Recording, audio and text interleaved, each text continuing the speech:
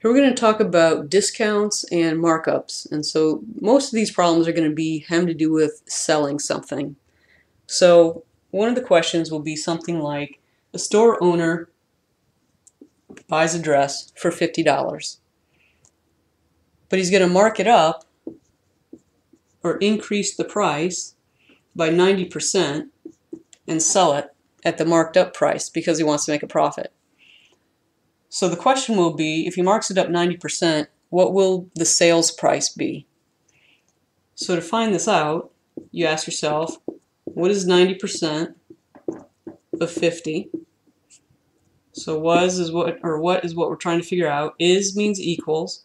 90%, you can't multiply percentages, you can only multiply decimals. So you need to change 90% into a decimal. If you don't know how to do that, watch the video on Facebook about percentages. So this is going to be 0.9. Of means times 50. So to find the markup, you're going to take 90% times 50, or 0.9 times 50. And that turns out to be 45. So that's how much it's going to be marked up. So to find the final sales price, it's the original cost plus the markup equals the final selling price. So it's the original plus the markup gives the final sales price. Alright, so if you encounter a problem that they're marking it up by percentage, you just take the original price times the markup, and then to get the final price, you add it to what the original was. So this was the markup of 45, so 50 plus 45 is 95 that's how much it's going to sell for in the end. Now, if you're talking about discounts, so that was when something was being marked up. If you're talking about discounts, so let's say we have this store owner, he is trying to sell that dress for $95. And it sits on the shelf and he can't sell it, so he's going to discount it by 90%. And they'll want to know what's what's the final selling price then? If it's right now it's $95, but he's going to put a sale price on it of 90%. So you do the same thing. 95 times 90%. Remember that you can't multiply percentages, you have to change that to a decimal, so it's 0.9. If you plug that into your calculator, you're going to get 85.50. So that is the discount, how much discount you're going to get on this. So to find the final selling price, you take the original minus the discount and you get the final price of $9.50. So this dress that originally cost $95, if it's on sale at 90% off, you're only going to pay $9.50 for it. So here you take the original minus the discount to get the final.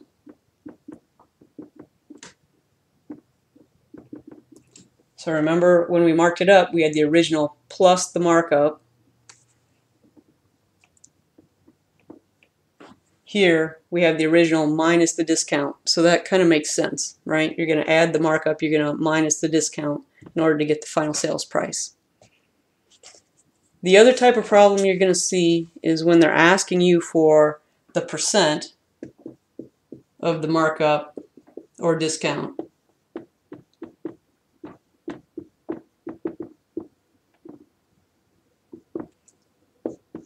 And how you do that is going to be the same for either one. It's going to be the change over the original. So the change in the price over the original price. So let's say you have a bike um, that the owner buys for $150. He then sells it for $375.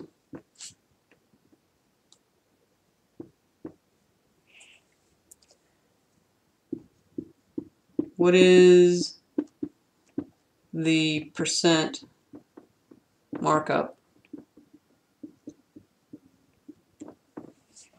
So to find the percent, you do change over original. So the change in the price, it went from 150 to 375.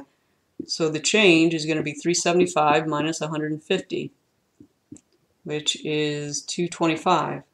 So the change, that's the change in the price, was $225. The original price was what he bought it for, which is $150. So the percent is going to be 225 divided by 150. If you plug that into your calculator, you're going to get 1.5.